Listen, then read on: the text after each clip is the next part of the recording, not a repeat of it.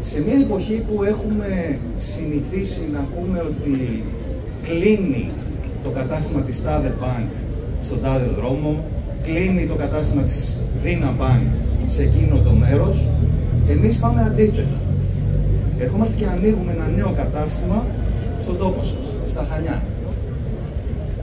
Και τα ανοίγουμε αυτό το κατάστημα γιατί πραγματικά πιστεύουμε στη δυνατότητα του νομού, στη δυνατότητα της πόλης, ως προς την οικονομική δύναμη και τι μπορούμε εμείς να βοηθήσουμε τον τόπο.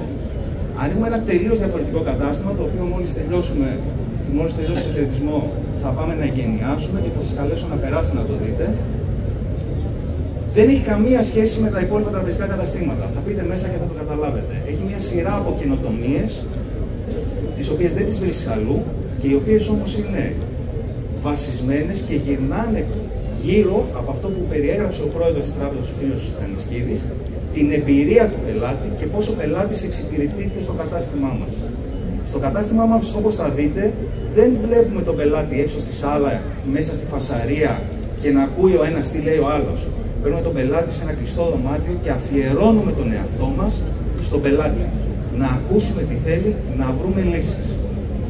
Έχουμε μια πλήρη γάμα προϊόντων με τις καλύτερες αποδόσεις για τις καταθέσεις και τις επενδύσεις των πελατών και είμαστε εδώ να στηρίξουμε την τοπική οικονομία χρηματοδοτώντας οποιοδήποτε υγιές επενδυτικό σχέδιο θα έρθει σε εμάς. Έχουμε όλα τα εργαλεία, έχουμε τη δύναμη